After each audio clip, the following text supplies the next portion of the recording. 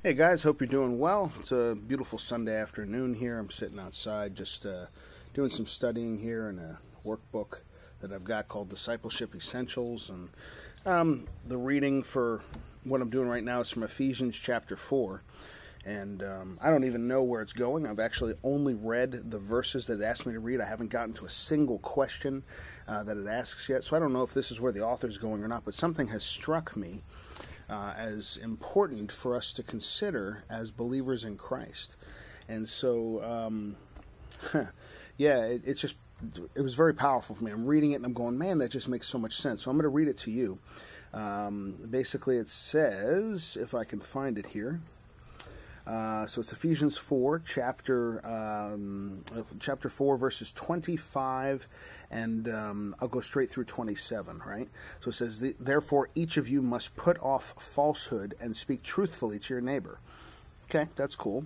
For all members of one body. Well, that's also cool. It's too bad the church is really broken up right now and disagrees with one another and argues about non salvation doctrinal uh, uh, issues and stuff. Really need to be unified. But that's not what really struck me. Um, here's what struck me In your anger, do not sin. That's cool. Do not let the sun go down while you're still angry. Now, I've always read that section and thought, man, that's about, you know, the last argument I had with my wife. Make up with her before you go to bed. Right? Don't don't sleep on it. Don't let it fester.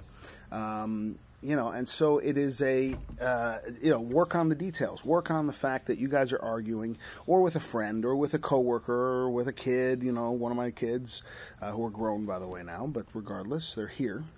And uh, so I always just thought that was that meant to solve it now, so that it doesn't um, sit overnight and fester. Well, here's what the next verse right after that says, or the, the, the rest of the words in that sentence. Um, so it says, Don't let the sun go down while you are still angry, comma, and do not give the devil a foothold. Interesting. So the foothold, the unforgiven uh, offense that you receive, is actually a foothold for the enemy to tear apart your life, to slowly kill you, if you will, from the outside in, the inside out, however you want to look at it.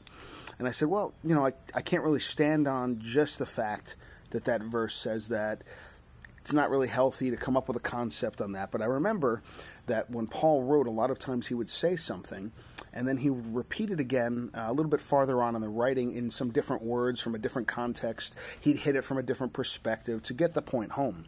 So if I jump down um, to verse uh, 31 and um, 32, here's what it says. It says, Get rid of all bitterness, rage and anger, brawling and slander, along with every form of malice.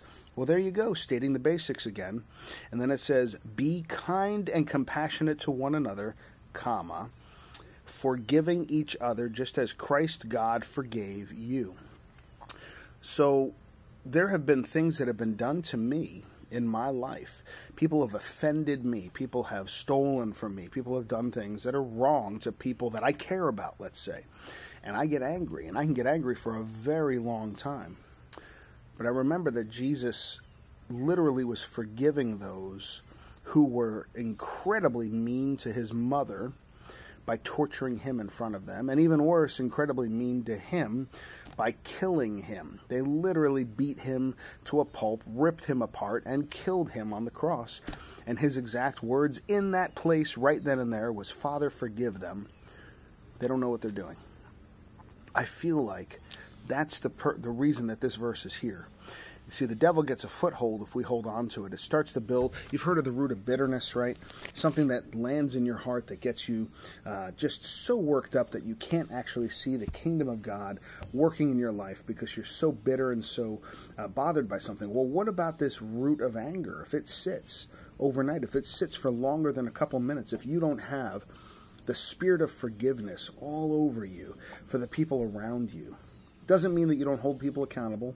Doesn't mean that there aren't consequences for what people do. If somebody steals from me, I'm not necessarily going to open all my assets up to them again immediately. That would be bad business, and then I'm not caring for my employees in that perspective, right? So there's common sense to be used in it, but the attitude of forgiveness is supposed to be immediate. That's hard. I don't know about you, that's really hard, right? It's really easy to hold on